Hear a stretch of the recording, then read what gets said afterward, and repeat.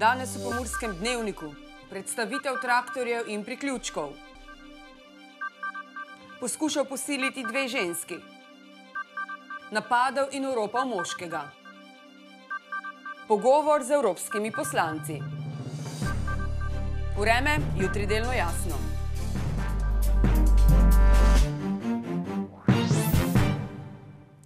Drage gledalke, cenjeni gledalci, lepo pozdravljeni v Pomorskem dnevniku. Minuli petek je na relaciji Črenšovci Hotiza potekala demo predstavitev traktorjev Fendt in Valtra in priključkov Fendt za zeleno linijo. Demo predstavitev je pripravilo podjetje Interexport iz Komende. V glavnem nas vsi poznajo po traktorjih. Zastopamo in prodajamo dve blagovni znamki traktorjev, to so traktori Fendt in pa traktori Valtra.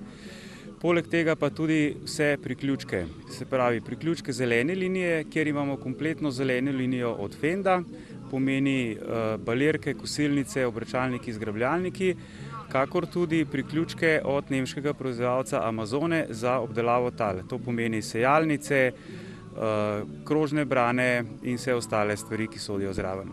Na predstavitvi so obiskovalci imeli ekskluzivno priložnost videti najnovejše in najsodobnejše traktorje in različne priključke. Demonstracija je predvsem prikaz uh, priključkov zeleni, zelene linije. To pomeni uh, kosilnice, obračalniki, zgrabljalniki tel balirke. Treba je povedati, da Fend dve leti nazaj tega še ni imel v svojem programu, potem pa je kupil tovarno Leili in dejansko kompletno prenovil ta program zelene linije, tako da imamo sedaj kompletno linijo priključkov v zeleni liniji Fent in to je tudi namen današnje predstavitve. Traktori Fent imajo dolgoletno tradicijo, naslednjo leto bodo praznovali 90 let, odkar so izdelali prvi traktor. Posebnost traktorjih Fent je ta, da vsi traktori od najmanjšega do največjega, to se pravi od 70 konjev do 520 konjev, so opremljeni z brezstopenskim varjo menjalnikom.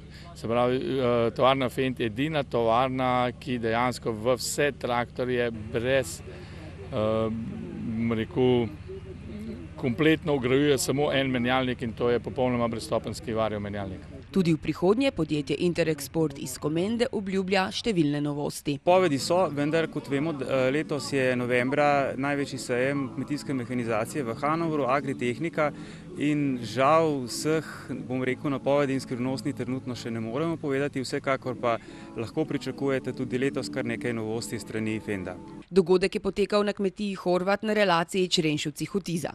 Več o najnovejših in najsodobnejših traktorjih ter različnih priključkih pa v četrtkovi oddaji aktualno. V nedeljo v popovdanskih urah je prišlo do neljubega dogodka v Ljutomeru. Moški se je v enem dnevu kar dvakrat spravil na dve ženski, ki ju je poskušal posiliti. Po naših informacijah naj bi moški v Ljutomeru v bližini Šic, Ljutomer in restauracije Mitra poskušal posiliti na takarico, ki so ji na pomoč priskočile stranke lokala. Isti moški naj bi kasneje še enkrat poskušal ponoviti isto dejanje, kar so nam potrdili tudi na policijski upravi Murska sobota. Ob tem ni znano, ali je tudi v drugo poskušal posiliti isto na takarico. Policisti policijske postaje Ljutomer so včeraj v popovdemskem času obravnavali dve kaznivi dejanji iz poglavja zoper spolno nedotakljivost. V obeh primerih gre za istega osumljenca iz območja upravne enote Ljutomer, dejanje pa je bilo storjeno na javnem kraju. Zoper osumljenega pa podana kazenska ovadba na okrožno državno tožilstvo so nam sporočili iz policijske uprave Murska sobota. Policisti so na soboški avtobusni postaji obravnavali kaznivo dejanje Evropa. Minuli petek, malo pred 18. uro, je na avtobusni postaji v Murski soboti neznanec fizično napadel moškega in mu dozel mobilni telefon in 10 evrov. Policisti so na kraju ugotovili identiteto neznanega moškega, pri katerem so zasegli telefon ter denar in ga vrnili oškodovancu. Zaradi telesnih poškodb je oškodovanec poiskal zdravniško pomoč.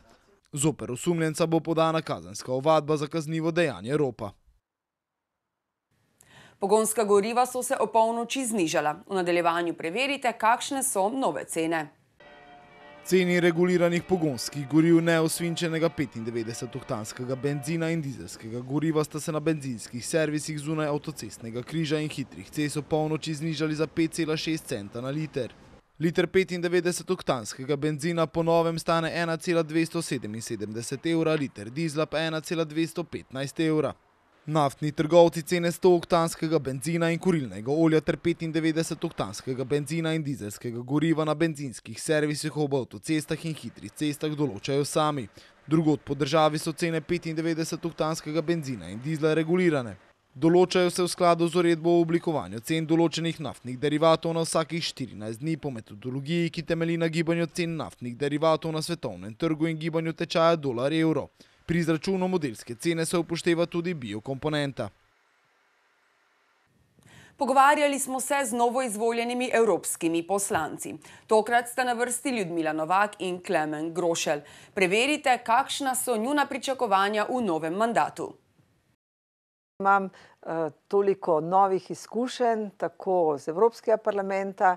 Od leta 2011 naprej sem bila uh, slovenska poslanka in v letu vmes ministrica, tako da se je nabralo kar nekaj političnih izkušenj, uh, da bom laže pristopala k stvarem, poznam slovensko politiko, zakone, ki smo jih tukaj sprejemali in mislim, da mi bo z tega vidika precej lažje. Jaz predvsem upam, da bo govorila o tem, da smo uspeli približati Evropski parlament, vse evropske inštitucije in celotno Evropsko unijo slovenskim volilcem in volilkam oziroma državljanom in državljankam. Jaz mislim, če bomo to dosegli, pa če bom k temu prispeval svoj, kot rečem, kamenček v celoten mozaik, bo to že kar velik uspeh. Če bomo pri tem še uspeli nekako zagotoviti neko zelo jasno, dokaj učinkovito, pa tudi dostopno slovenskim državljanom in državljankom, dostopno, bomo neko finančno perspektivo, bo pa to še toliko boljše. Na spletnem portalu sobotainfo.com preberite o večmilijonskem projektu na Hrvaškem, katerega del je tudi Pomgrad. Več torej na sobotainfo.com, mi pa si poglejmo še kratke novice.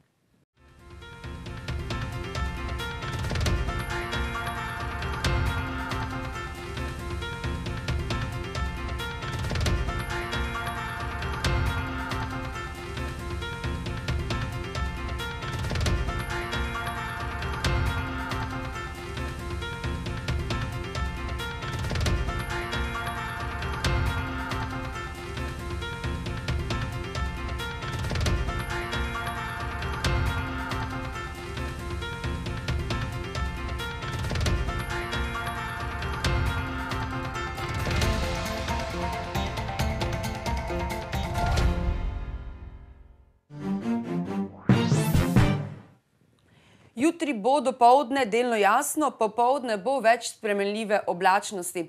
Kakšno vreme nas čaka v naslednjih dneh pa v vremenski napovedi. Danes smo imeli oblačen dan s temperaturami okrog 25 stopinj Celzija. Opovdne ste v Radencih namerili 21 v Ukrajinskem parku Goričko, Murski, Sobot in Lendavi pa 22 stopinj Celzija. Jutri bo dopoledne delno jasno, popoldne bo več spremenljive oblačnosti, v notranjosti bodo nastajale plohe in nevihte.